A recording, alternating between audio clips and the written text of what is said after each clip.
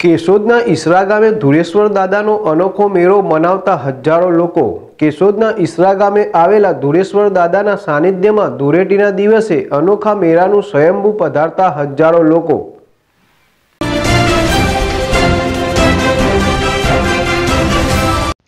કેશોદ તાલુકાના ઈસરા નાગદેવતા ધુનેશ્વર દાદાના મંદિર આવેલા છે, જ્યાં વર્ષોથી ધૂળેટીના દિવસે મેળો યોજાય છે.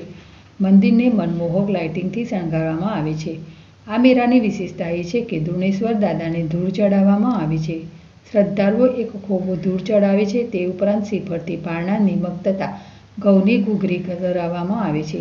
સૌરાષ્ટ્રભરમાં અને જૂનાગઢ જિલ્લામાં એકમાત્ર ધુણેશ્વર દાદાનું આ મંદિર એવું છે, જ્યાં આજુબાજુના આશરે પચીસથી પણ વધારે ગામોના લોકો જેમને ત્યાં પ્રથમ પુત્રનો જન્મ થાય તેને ધૂળેટીના દિવસે ધ્રુણેશ્વર દાદાને સવામણની ઘઉંની ઘૂઘરી ધરાવવામાં આવે છે. અને તેની પ્રસાદી લેવામાં આવે છે. આ મેળામાં ખાણીપીણીના સ્ટોલ, કટલરી બજાર, રમકડાના સ્ટોરોમાં લોકો મેળાની યાદગીરી માટે ખરીદી કરે છે, જે ખરીદી કરનારાઓની પણ ભારે ભીડ જોવા મળે છે.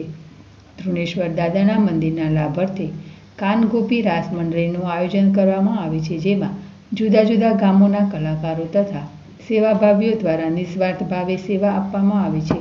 તેમાંથી એકઠું થતું પણ ધૃણેશ્વર દાદાના મંદિરના સેવાકીય કાર્યોમાં ઉપયોગમાં લેવામાં આવે છે. મેરામાં અશ્વદળ હરીફાઈ પણ આકર્ષણનું કેન્દ્ર બને છે. આજુબાજુના ગામોના અશ્વપાલકો અશ્વનું શણગારી મેરામાં વિવિધ હરીફાઈ યોજવામાં આવે છે. જેમાં રેવલ ચાલ દોડી હરીફાઈ યોજવામાં આવે છે.